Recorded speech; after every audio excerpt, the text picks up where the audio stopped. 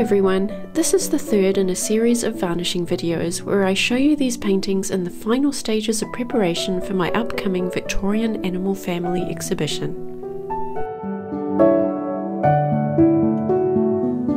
This varnishing video is a little different as I wanted to explain a bit of my process behind the creation of the background story for these two characters, Mr. and Mrs. Greyhound. First of all, a note about the costumes the characters are wearing. For each of the paintings, I researched period costume not only from the Victorian era, but also earlier in the 19th century. I wanted the portraits to look as if they had been collected over time while reflecting the changing fashions of the era. In the case of Mrs. Greyhound, her costume is loosely based around fashion of the early 1800s. I particularly enjoyed painting the lace details and the feathers in her hat. The straw bonnet itself was quite a mission, with layers and layers of underpainting and colours, just to get the straw texture looking right. The flower in her bonnet is a peony. For both the characters' costumes, I chose a palette of deep violets and burgundies that contrasts nicely with their silver grey fur. These two characters are the only ones in the series that are immediate family members.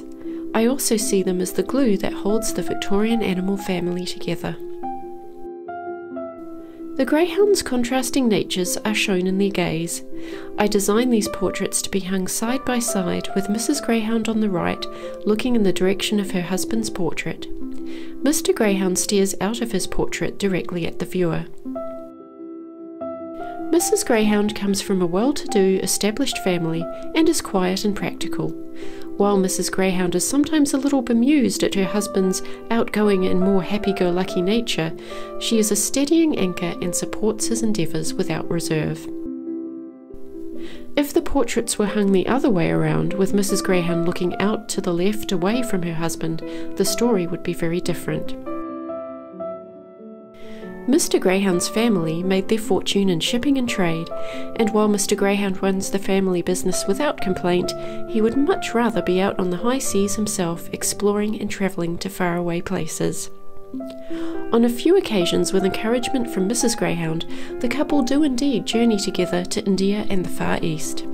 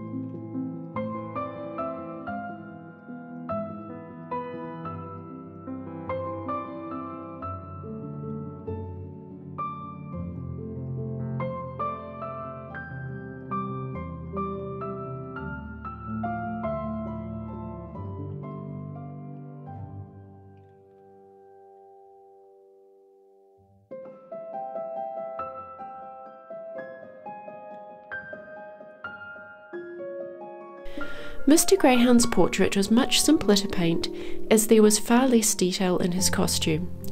I matched the burgundy of his cravat to the colour of Mrs. Greyhound's peony. The burgundy, along with the violet colour of the background, ties the two portraits together. I enjoyed painting the silver buttons on his shirt. I did spend a great deal of time researching buttons and painting shiny buttons on several characters in the series, but I think this was the first portrait I finished with actual shiny buttons.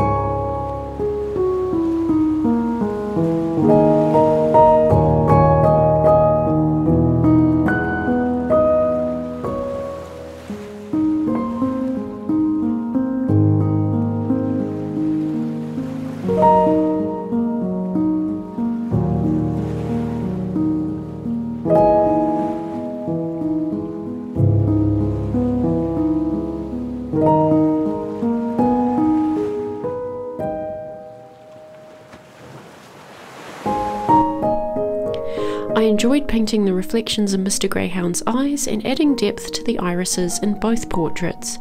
Once I'd done that, I feel like both portraits really came to life.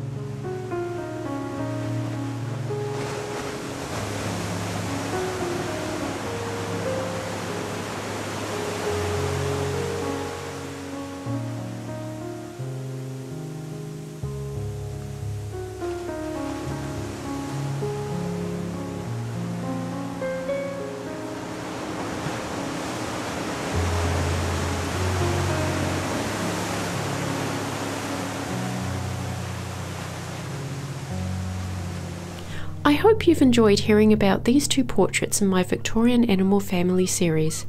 At this point, the exhibition is just 15 days away, and I have a lot to do before the opening. I will be uploading a few more of these varnishing videos, so keep an eye out for those, and I will still be streaming on Twitch up until the exhibition. I am hoping to stream during the week at the exhibition if I am able, so please visit twitch.tv forward slash squibble design and follow me there if you like so you can keep up with the live streams. A big thank you again to everyone who has supported me so far. At this point, it has been roughly two years and 11 months since I started this painting series, and you have all kept me going with your visits to the stream, chatting on social media and in the Discord, and supporting the Patreon. Thanks very much for watching these videos. I do enjoy creating them and I hope you enjoy watching them too. I will be back again very soon with another video, so until next time, have a great day everyone!